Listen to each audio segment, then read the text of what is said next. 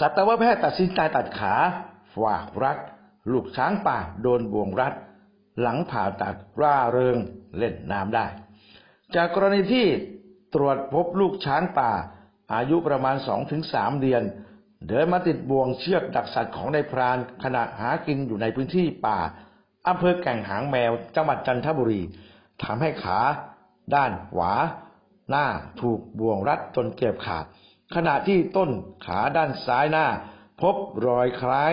ถูกกระสุนปืนอีกฝ่าสิบนัด ซึ่งเจ้าหน้าที่อุทยานแห่งชาติน้ำตกเขา15ชั้นอำเภอแก่งหางแมว จังหวัดจันทบุรี ได้ประสานทีมสัตวแพทย์เข้ามาให้การช่วยเหลือ ก่อนนำตัวไปรักษาบาดแผลที่หน่วยพิทักษ์อุทยานแห่งชาติ เขาหินฝาก อุทยานแห่งชาติเขา15ชั้น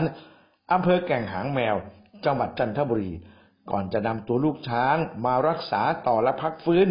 ยังสวนนงนุษย์พัทยา จังหวัดชลบุรีเมื่อยันวันที่หนึ่งธันวาคมที่ผ่านมาสำหรับลูกช้างตัวนี้ จะเรียกชื่อว่าฝากรักตามสถานที่เกิดเหตุ ล่าสุดนายสัตวแพทย์พระเดชศิริดำรง สัตวแพทย์ประจำสวนนงนุษย์พัทยา และทีมสัตวแพทย์ได้ดำเนินการตัดขาขวาที่ถูกบ่วงรัดจนเกือบขาดออกไปแล้ว ก่อนจะเช็ดล้างทำความสะอาดบาดแผล อาการโดยรวมหลังผ่าตัด ลูกช้างร่าเริงเดินรอบแนวคอกกินน้ำเล่นน้ำเป็นปกติ ทั้งนี้ทีมสัตวแพทย์ยังต้องติดตามการรักษาดูแลอย่างใกล้ชิดต่อไป ซึ่งต้องรอการพักฟื้น ก่อนจะมีการผ่าตัดนำกระสุนออกต่อไป ส่วนที่จะให้แม่ช้างในสวนนงนุษย์ช่วยให้นมนั้น อยู่ในการพิจารณาของสวนนุษย์พัทยาที่จะคัดเลือกแม่ช้าง โดยนายกพลตันสัจจาประธานสวนนุษย์พัทยาได้เปลี่ยนชื่อวากรักเป็นฟ้าใสแทน เพื่อให้เรียกง่าย และยังเป็นมงคล เพื่อให้สอดคล้องกับพังฟ้าแจ่มลูกช้างที่เคยถูกบ่วงรัดจนบาดเจ็บหนักและต้องพิการขาหน้าซ้าย แล้วมาพักรักษาที่สวนนงนุษย์พัทยาจนหายดี และกลับมามีชีวิตได้อีกครั้ง แต่แต่วันนี้ก็มีตัดขาข้างข้างขวานะครับปลายขาเนี่ยก็ขาดละนะครับ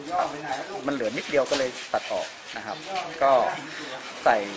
ที่รองเท้านะครับที่เป็นทำจากโฟมเทียมไว้ก่อนนะครับ แล้วก็คงวันนี้คงมาฉีดยารักษา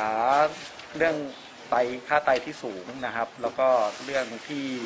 เขาขาดอย่างแคลเซียมต่ำหรืออะไรเงี้ยเดี๋ยวฉีดยาช่วยนะครับ แล้วก็เลือดเลือดเม็ดเลือดแดงน้อยนะครับอย่างอื่น